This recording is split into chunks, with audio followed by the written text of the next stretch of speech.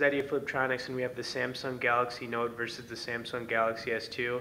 Both these phones are very good in their own right. Uh, the Note is almost like a bigger version of the S2, and they each have their own features and strengths and flaws.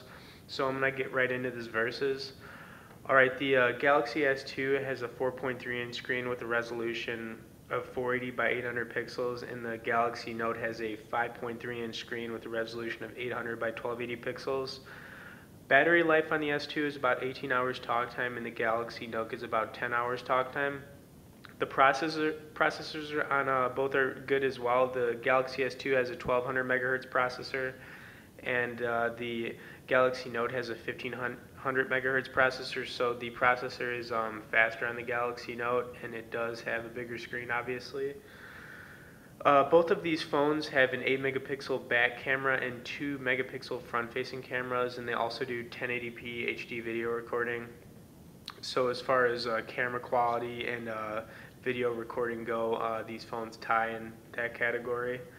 Um, storage wise, uh, they both have 1024 megabytes storage capacity and support a 32 gigabyte SD card for extra space. Um, other than that, uh, they both have some built-in functions for YouTube, Facebook, Twitter, and some other apps. Um, and also the uh, Galaxy Note does have S Pen, which is a feature that the S2 doesn't have.